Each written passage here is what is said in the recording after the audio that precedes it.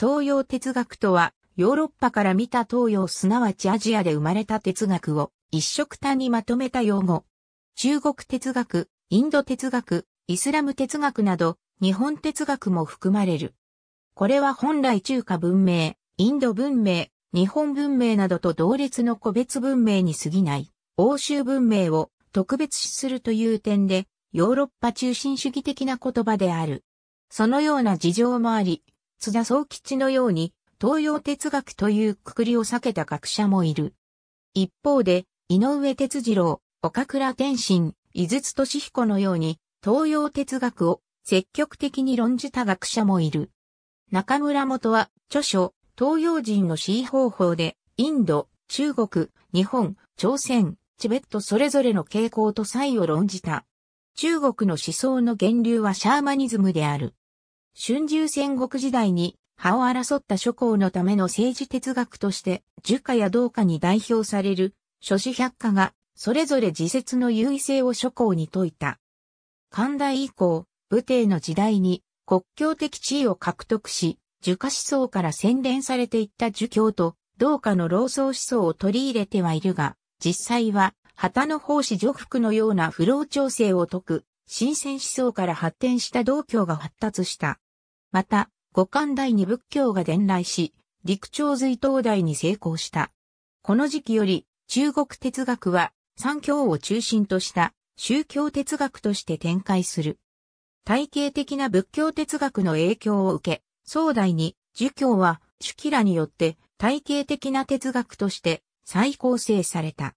また道教もそれまでの民間宗教から官僚的ヒエラルキーと五行論に基づく理論性を発展させた。仏教自体も道教的な非論理的傾向を吸収して、インド仏教とは異質な中国仏教としての禅宗や浄土教を生み出した。またそれは最初は対立していた呪仏道の三教が次第に融合していく過程でもある。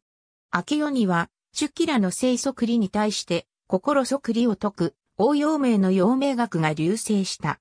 が、応用名の主張を見ると、そこには禅宗の影響が非常に色濃いことは明白である。これら中国哲学の特徴は、世俗性、実践性が強いことである。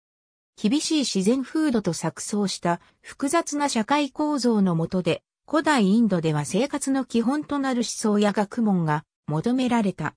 そこで生まれたのが、ベーダ、ウパニシャットの哲学である。リングベーダは、上天への参加集であり、そこでは自然現象や抽象概念などが神格化されている。それらの諸神は3階に配されており、祭祀の際には諸神の中の一神を勘定してきて、現世的な利益を求めることが行われていた。ベーダ経典には、ブラーフマナという注釈書が作られ、さらに、ベーダ経典を集大成したウパニシャットやアーラヌヤカによって、より進化することとなった。そこでは、宇宙の根元をブラフマンと呼び、それに対して人間に内在する原理をアートマンと名付け、その二者が一体化した状態を求めることとなった。同時に人間の行為の善悪の過方の原因を全章の業に求める輪廻の思想も発達した日本哲学は伝統的には中華系に属する。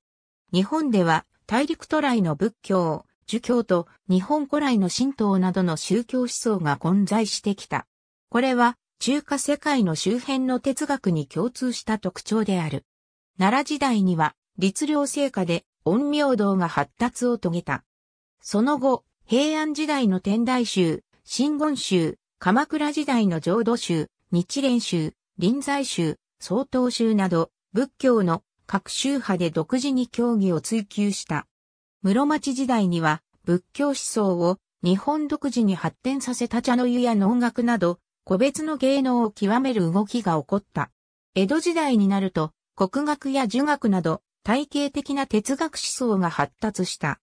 明治時代に、清宗によって哲学という語が作られ、西洋哲学を輸入したり、近代以前の日本哲学と融合させて、独自の思想を構築する哲学者が誕生していった。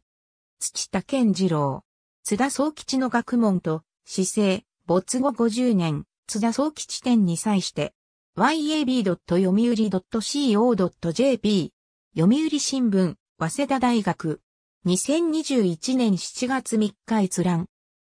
津田総吉、東洋文化、東洋思想、東洋史、新自進化の青空文庫根世、純吉、井上哲次郎の開拓者的意義、インド学仏教学研究第49巻、第2号、2001年、526-532、土井、10.4259、アイビーク49.526、イシュン1884から0051。ありがとうございます。